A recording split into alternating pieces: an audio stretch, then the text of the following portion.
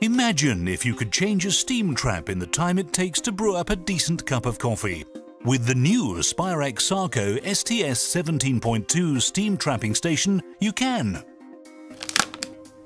The STS 17.2 will not only save energy, lower carbon emissions and minimize downtime, but it ensures quick maintenance and replacement of steam traps without shutting down your process. Just follow this easy process. Safely isolate the station from the steam line. The easy-to-use lockable isolation valves promote safe operation, whilst a double block and bleed version is also available for added safety. Open the bleed valve to disperse any steam left in the system. Unbolt the existing steam trap.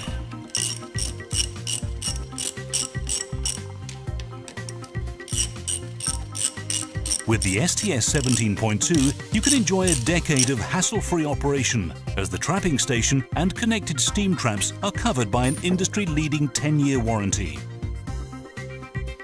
Reattach the new or revamped steam trap. The compact size of the STS 17.2 means you can install it where conventional trapping stations simply won't go. Now even the tightest of plant spaces can gain the benefits of the world's most advanced steam trapping station. Close the bleed valve. Open the isolation valves to allow steam to pass through.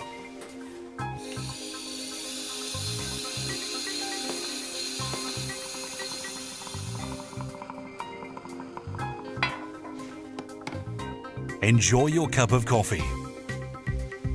For more information on the STS 17.2, email ukinquiries at spiraxsarco.com.